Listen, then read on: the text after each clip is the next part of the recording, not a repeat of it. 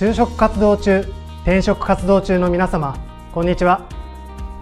採用面接と一口に言っても最近は対面での面接に加えて web 面接も多くなってきています。どちらの場合も大切なことは何といってもまず第一印象や清潔感です。あなたの印象を決める大事な第一印象。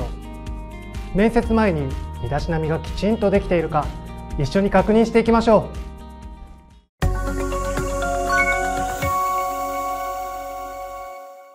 面接での身だしなみのポイント。それは自分をいかにプロデュースできるかです。おすすめの服装があります。見た目に映える白いシャツです。あなたがいかに清潔感があって爽やかな人物なのかを白いシャツで演出するといいでしょう。白いシャツと色付きのシャツ比べてみるといかがですか？フォト採用面接においては白いシャツだと見た目の印象はぐっとアップしますよね。ぜひ参考にしてみてくださいね。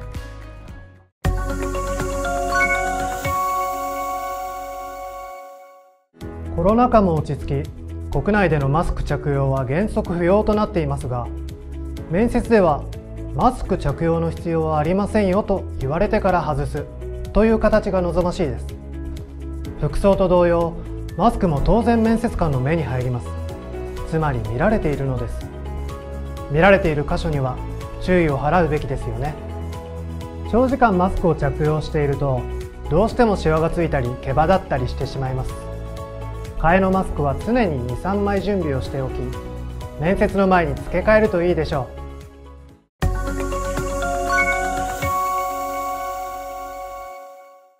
髪を整えることは身だしなみの基本中の基本です。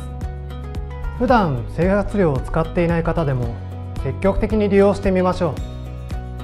長い髪はまとめるなどして働く時の髪型に。どちらも変に隠し気張ることは容姿や服装に厳しい業界以外は必要ありません。ご自身の志望する業界に合わせてあまり難しく考えず清潔感を意識して整えてみてください。またヒゲに関しても注意が必要です。業界や職種によってはヒゲを生やしている方が社内にほとんどいないという場合もあります。可能なら面接前に剃っておくことをお勧めします。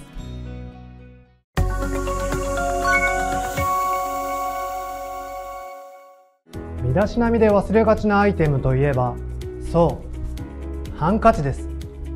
シワのない清潔感のあるハンカチを用意しましょう。とっさに口元を覆ったり汗を拭ったり面接ではとても重宝します。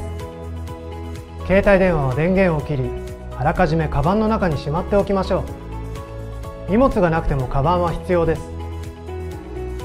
メモを取るノートとペンも必須ですね。他には履歴書の予備やエントリーシートのコピーもすぐ出せるように備えておきましょう。相手に見られる箇所は持ち物であっても気を配る。これぞ身だしなみですね。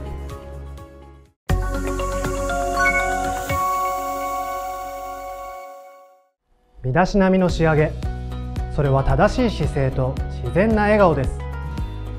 背筋を伸ばし相手に視線を合わせ手は自然な位置に置きます。そして笑顔を忘れずに身だしなみは社会人としてのマナーであると同時に相手に対する礼儀でもあります。面接で良い第一印象を持ってもらうために清潔感のある身だしなみを心がけてみてください。身だしなみチェックいかがでしたか？これで自信と余裕を持って面接へと臨めますね。